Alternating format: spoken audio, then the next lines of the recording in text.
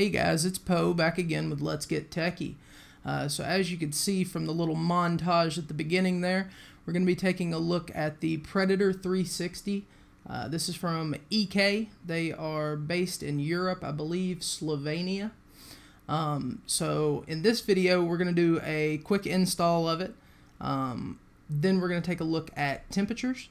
We will compare it against an air cooler. Uh, and then we'll also take a listen to noise. Um, I think you're going to enjoy it.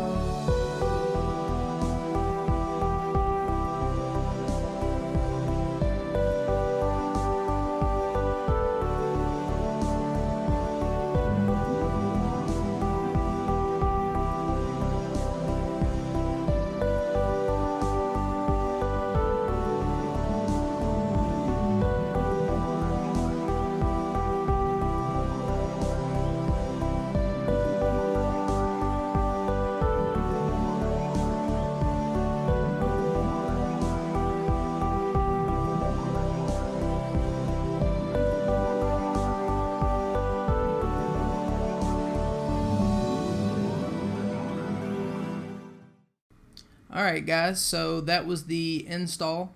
Uh, Phanteks really made it easy with this uh, Pro M. They have a really neat slide out system for mounting radiators uh, or fans for that matter. Uh, and that's what you saw me mounting the Predator 2.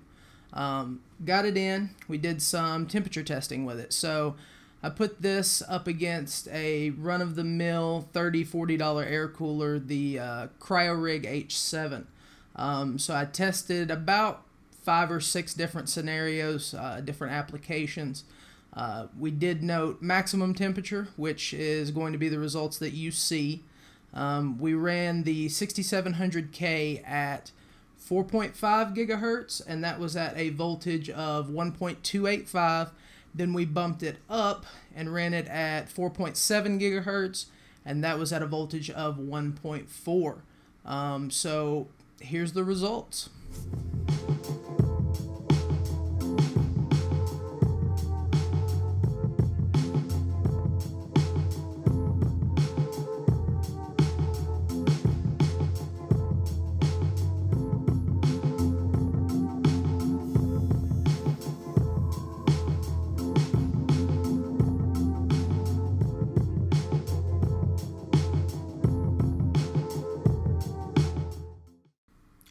Right, so let's uh, talk about the results a little bit.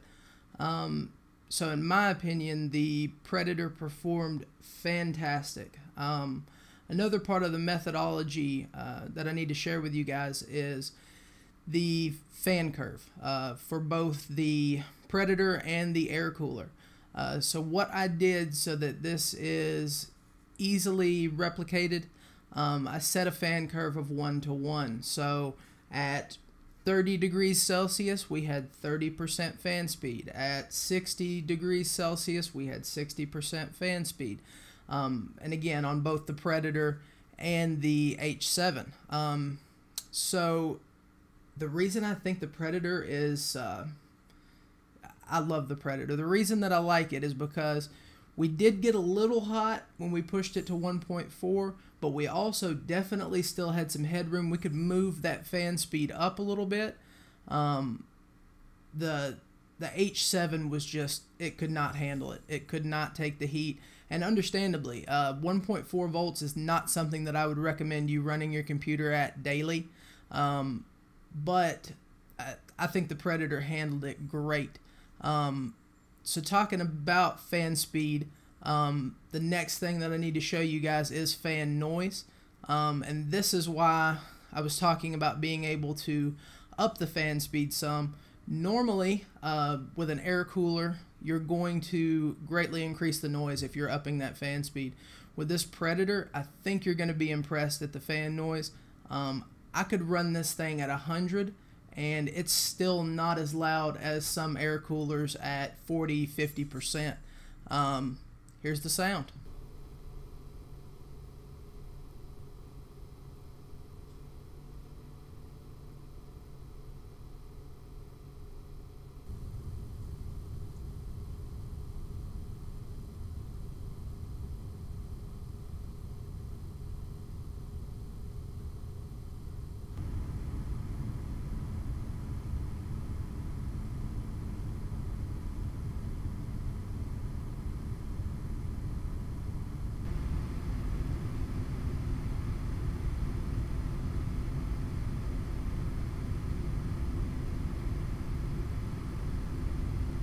So as you could hear, uh, you're not having to make a huge trade-off uh, in regard to temperatures versus fan noise. Um, if you're working with a hotter chip, say something like an AMD FX series, uh, you could easily bump up the fan speed on this, and it's not going to annoy the piss out of you. Um, I think it's a great option. Uh, I love the Predator. Um, so this is selling right now. I believe it's on sale right now. Um, Newegg had it as of day before yesterday, at least, uh, for right around 190. excuse me, 190 maybe 200 dollars. Uh, that's a great deal if they do still have that.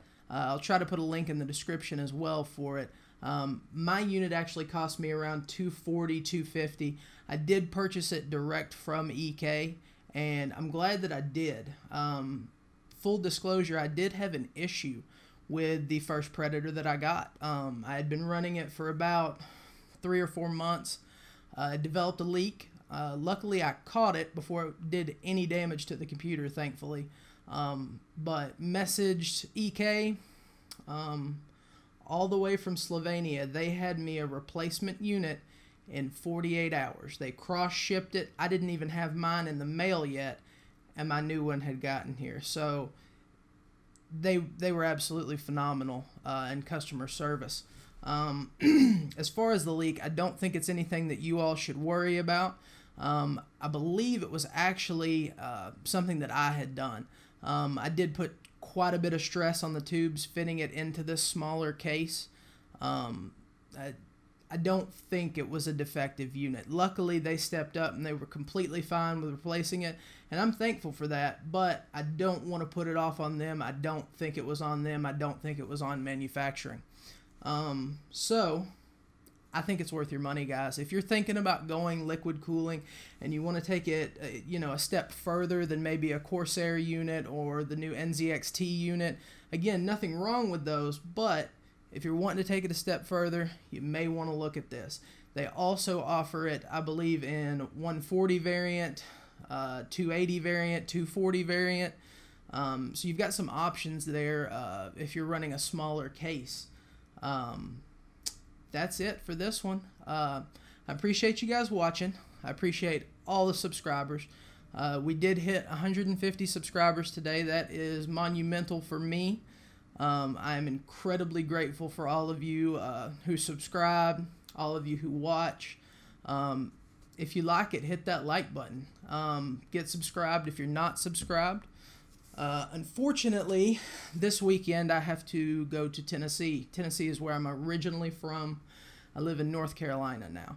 Um, going back to Tennessee to take care of some things, uh, actually getting married at the end of this year, uh, December 31st, so it's coming soon. Um, so I will be away from the channel a little bit um, during the month of December. Uh, we'll try to get you know one or two videos in if we can. Um, we also are going to be doing some more giveaways. I've actually got a ton of stuff on order. Um, got a ton of giveaway items. If you are not subscribed, get subscribed for that. If you're not following us on social media, check out the link in the description. Follow us. You want to follow us. Trust me. Appreciate you guys watching. See you next time.